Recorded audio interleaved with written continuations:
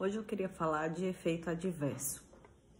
Né? Não é não é incomum, né, que pacientes quando vê a resposta ao tratamento, né, então vê que o medicamento ele está sendo efetivo, normalmente os pacientes não querem mudar a dose, né?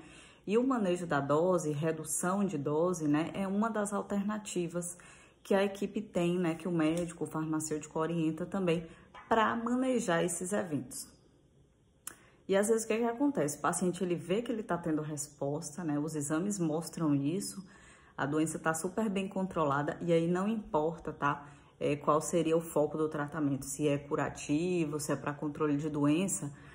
Então, os pacientes eles ficam animados com isso, né? E mesmo apresentando os eventos, eles não querem mexer na dose. E aqui vem uma, um alerta para vocês, tá? Existem eventos, reações que acontecem que, se não forem manejadas do início, elas podem se tornar irreversíveis, né? Então, num curto, médio e até longo prazo, o paciente ele precisa pensar nisso, porque vai impactar diretamente na qualidade de vida né? E eu falo isso para tratamento oral porque no tratamento oral às vezes acontece e eu digo porque é da minha prática, eu vejo isso acontecer, né? O paciente às vezes ele tem uma sobra de medicamentos em casa, principalmente se ele está recebendo do convênio, que às vezes o convênio envia pelo correio duas, três caixas do medicamento de uma vez.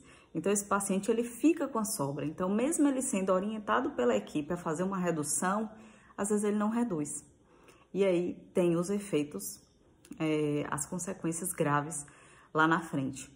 Então, fica o meu alerta, né? O médico, ele não vai orientar uma redução de dose se não for realmente necessária. Um farmacêutico, ele não orienta isso, não discute isso com o médico quando a, se a gente não vê que é realmente necessário, né?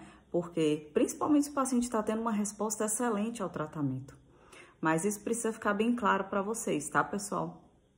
Então, a gente, eu vejo isso na prática, como já vi paciente perder a audição, então começa com um zumbido leve no ouvido, né? O paciente, ele não quer fazer a redução de dose, não quer é, ter esse impacto aí num determinado momento, mas a gente sabe que o ganho a curto e médio prazo vai ser maior e longo prazo também, né? Então, o paciente fica surdo, a neuropatia periférica também, né, que é essa, essa sensação de formigamento aí nas extremidades dos dedos das mãos, dos pés, também se não for tratada, ela evolui e ela pode ficar para sempre, né? Então, é, isso impacta na qualidade de vida, né? Então, a gente precisa é, ficar atento. E eu chamo essa atenção para o tratamento do medicamento oral, porque esse controle fica muito na mão dos pacientes, né?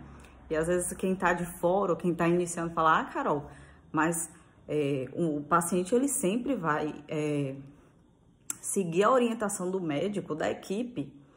Aí é que vocês se enganam, como eu falei, a, a empolgação né, de ver nos exames o resultado, então ver que a doença praticamente sumiu ou está muito bem controlada, leva o paciente a falar assim, não, eu aguento um pouquinho mais, não, vamos ficar mais um pouquinho com essa dose para ver se eu melhoro, né? Então, pessoal, fica aí essa dica. Se a equipe orientar, se isso for sugerido pelo seu médico, você pode ter os medicamentos em casa, né, na mão, mas, por favor, sigam as orientações, tá? O medicamento é coisa séria e precisa ser tratado como tal, né? Quando o paciente ele faz lá quimioterapia venosa, esse ajuste ele acontece lá né, entre a equipe, o médico e todo mundo, e é manipulado o medicamento já na dose correta para o paciente. Quando o tratamento é oral, fica a cargo do paciente muitas vezes, como eu falei, principalmente se ele está recebendo em casa. Né? Então, muito cuidado. Tá? Com efeito adverso, a gente não brinca. Fica a dica.